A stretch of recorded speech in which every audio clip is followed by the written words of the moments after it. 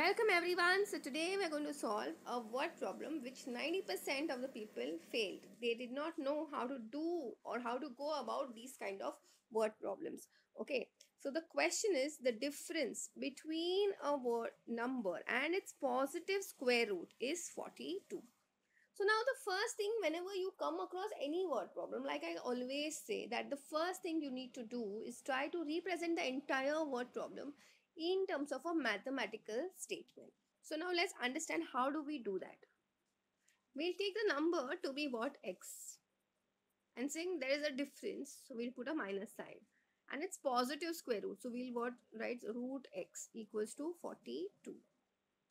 Now what we'll do is we'll take root x we'll take root x as what a.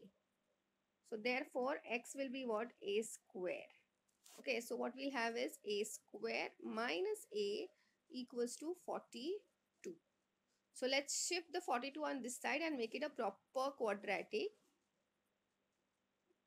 So now you need to find product of two numbers which is getting you the answer as minus 42 and the difference is getting you just single one. So we have minus 7 and plus 6 so that will get you minus 1. This is what you wanted over here. So we'll do this x square minus 7a, sorry, a square minus 7a plus 6a minus 42 equals to 0. Taking a common, I'm left with a minus 7 plus 6 taken common. So I have a minus 7 equals to 0. So I have a minus 7 or I have a plus 6.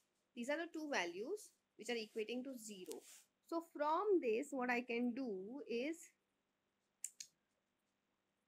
one second that a can be either 7 or a equals to minus a equals to minus 6. Now there is the catch. Okay, see x is what? a square okay so if i do this so i can either have value of a x as nothing but what 49 or i can have value of x as what 36 okay so now they are saying that what? Difference between the number means x. So here the number is what?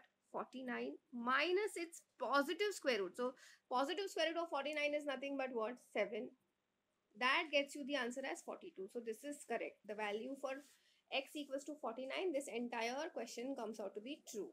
Now let's look at for 36 we'll do 36 minus its positive square root which is 6 so the answer comes out to be 30 so i can completely disregard this particular operation. And therefore i can say the number for this particular question is nothing but 7 okay that's it for today. I will see you in the next video